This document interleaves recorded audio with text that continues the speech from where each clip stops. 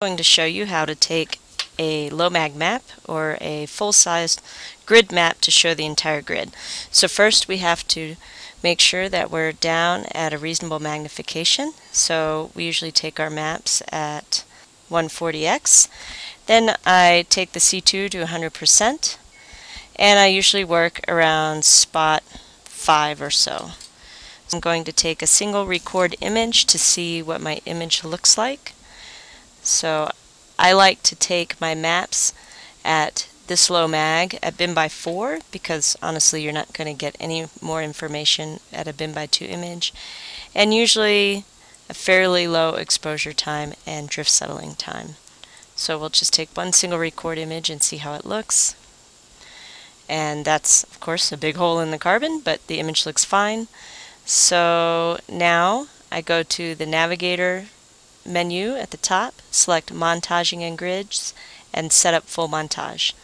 This will give me at 140x with binning by 4 a 10 by 10 montage, which is a decent size.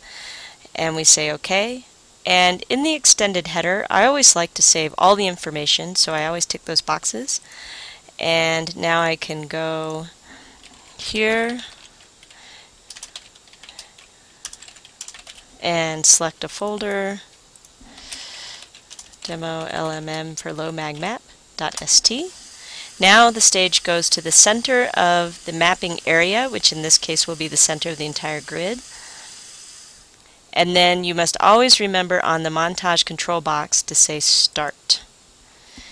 Now it'll tell us here at the bottom of the SerialEM panel that it's montaging and taking piece 1 of 68. So it's going to go to the lower left corner take an image and then move up Y and then go move in X over 1 and then move up and Y again.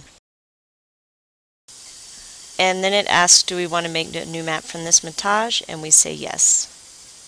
Now you can see this had a very difficult time realigning so I'm going to untick on the montage box treat as a very sloppy montage and with the map highlighted in the navigator window, say load map and see if that helps. It does. So now our map is ready and one of the important things we need to do now is close this montage file and also save our navigator file. So this is important because this map that we've made is a series of images with stage coordinates associated with it. And then you have the navigator, which is basically a text file that this interface can access that ties these stage coordinates to this image.